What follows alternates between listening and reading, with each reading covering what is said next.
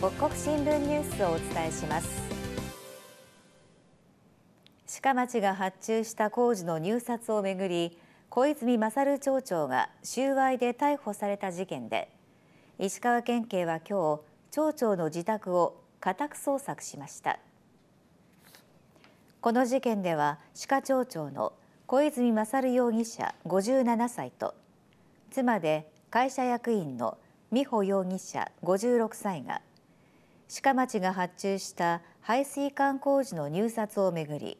現金50万円を受け取って最低制限価格を漏らし町内の土木工事会社青谷工業に落札させたとして受託収賄などの疑いで昨日逮捕されました。一方贈賄などの容疑で逮捕された青谷工業の代表取締役青谷健容疑者83歳と妻で取締役の勝見容疑者76歳は入札での便宜を小泉容疑者などに依頼し現金を渡した疑いが持たれています。石川県警は捜査員およそ30人を投入し今朝7時40分ごろから4時間かけ小泉容疑者宅を家宅捜索するとともに午後には4人の身柄を送検し容疑の裏付けを進めることにしています。一方小泉町長の逮捕を受け鹿町は正田義則副町長が今日から当分の間町長の職務代理者を務めると発表しました。七尾市の伝統野菜沢のごぼうの生産農家が3軒に減り伝統の味を守っていけるかと危ぶまれています。普通のごぼうよりも大きい。沢のごぼうは豊かな香りと白く柔らかな肉質が特徴でかつて徳川将軍家へ献上されたとも伝わっています。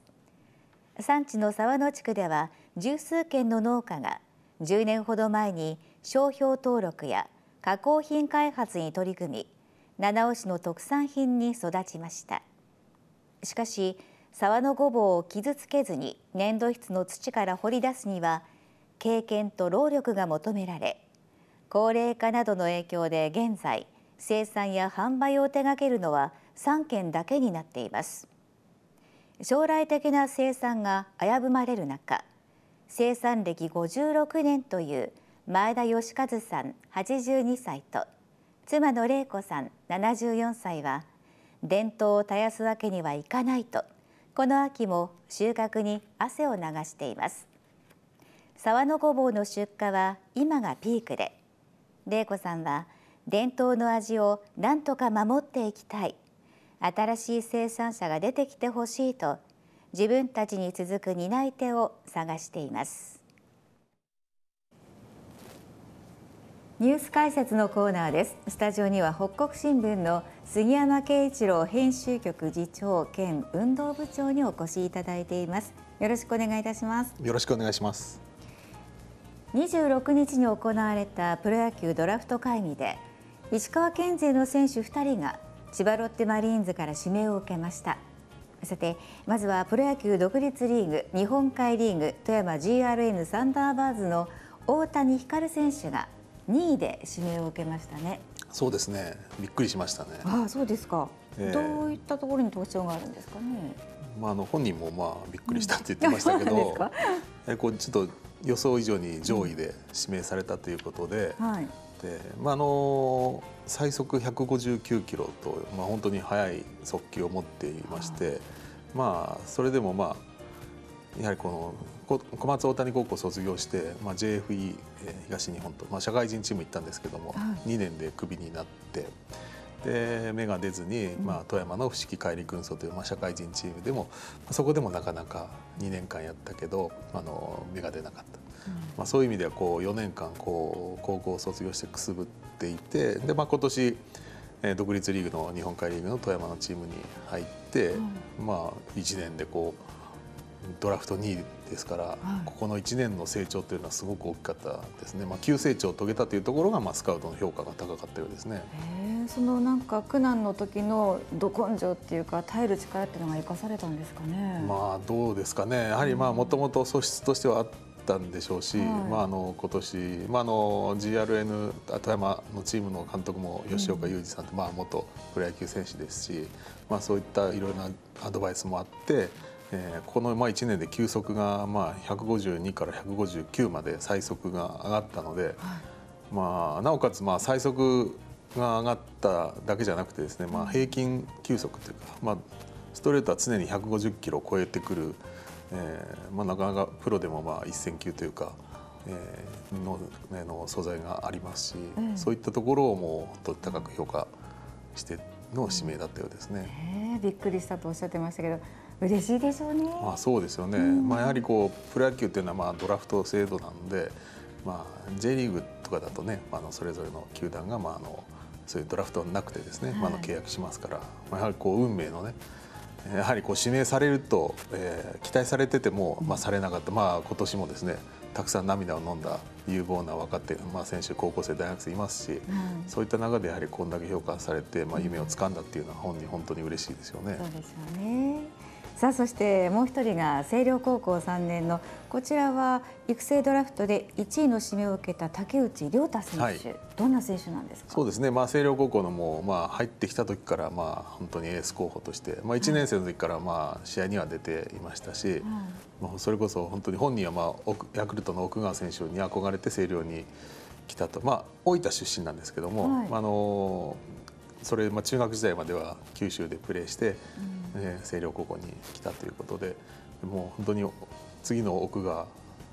第2の奥がというふうに期待されて、うん、それでもなかなかですねちょっとコントロールがですね、うん、まあ、ちょっと課題がありまして、うん、やはりこうフォアボールが多かったり、えー、してたので、まあ、それはもう結構3年生の終わりにもそれ、えー、結構苦しんでたので、まあ、素材としてはねとても、まあ、いろんな私もスカウトの話を聞きましたけど、まあ、本当素材としてはいいということで聞いてたので、うん、どうなのかなと思ってましたけども、えー、まあ、やはり本人は、まあえー、支配下選手じゃなくて育成でも行きたいということでまあ、そういったところで、まあ、かかってですね、えー、まあ、ロッテとしては、まあ、育てたいという思いもありますし、まあ、育てたら伸びるんじゃないかという思いで、まあえー、指名してたと思いますので、うん、まあ、あの本当に長い目でですね見て、えー、見守って活躍を期待したいですね。そうですね。今の段階の一番の強みってどこですか？うん、やはりまああの本当に動じないというか、本当にまあ竹内選手のお父さんも昔あの昔というかまあ入学した時言ってましたけど、やはり中学の時にね、頭にデッドボール相手のチームに当ててしまって、もちろんヘルメットしてますけど、普通ならね、その。ちょっと動揺したりするんですけども、はい、まあ、そのそれ動揺することなく投げ続けたっていう、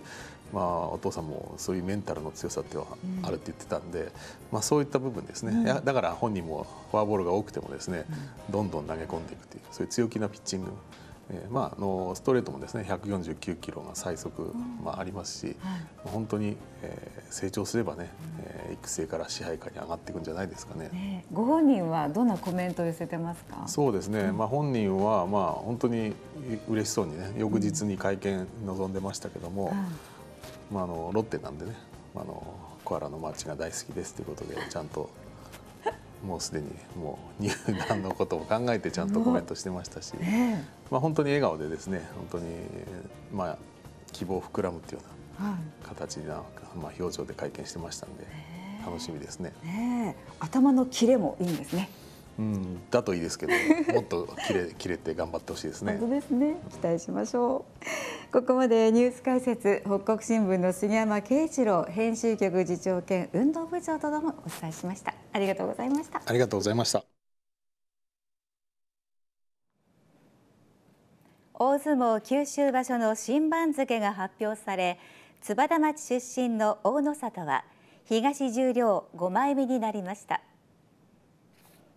新十両で臨んだ先場所に大野里は千秋楽まで優勝を争い12勝3敗の好成績を収めました九州場所の番付は一気に9枚上の東十両5枚目に進み2場所での十両通過を目指します。穴水町出身の遠藤は先場所相撲巧者ぶりを発揮して9勝を挙げ番付を西前頭10枚目から2枚上げて東前頭8枚目とし石川県出身の力士の中で最も上位になっています。先場所幕内に復帰した七尾市出身の輝は5勝10敗と振るわず再び十両に陥落し東十両3枚目になりました。一方幕下では津幡町出身の大正海が西幕下2枚目。白衣市出身の深井が東幕下4枚目と重量昇進が狙える位置につけ県出身の新たな関取誕生に期待がかかります。大相撲九州場所は来月12日に初日を迎えます。金沢学院大学クラブに所属するトランポリン選手が昨日壮行会に臨みパリオリンピックにつながる世界選手権での検討を誓いました。金沢学院大学クラブの講演会が開いた昨日の壮行会では世界トランポリン競技選手権や世界年齢別選手権に出場する合わせて6人の選手を激励しました。このうち来年のパリオリンピックにつながる世界選手権は来月9日からイギリスのバーミンガムで始まり宮野隼人と櫻井恵那田中紀子の3選手が大一番に臨みます。このうちアジア大会で5位に入賞した宮野選手はアジア大会の悔しさをぶつけオリンピックの枠を取りたいと意気込みを示しました。また櫻井選手は自分らしい美しい演技でメダルを獲得したいと決意を語り17歳の田中選手も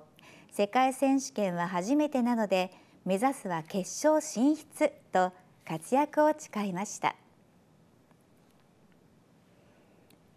河北市内の小学生が特産のさつまいも河北栗を収穫しました。河北市の宇野家小学校ではおよそ120人の2年生が今年6月に食育活動の一環として大崎地区の畑で河北栗の苗を植えました。収穫の時期を迎えた昨日は子どもたちが大崎園芸生産組合幹所部会の部会長木綿和彦さんなどから指導を受け土をかき分けたりつるを引っ張ったりしてさつまいもを掘り起こしました。収穫したかほっくりは1人当たり10キロほどになりどの児童もたくさん収穫できたことを喜んでいました。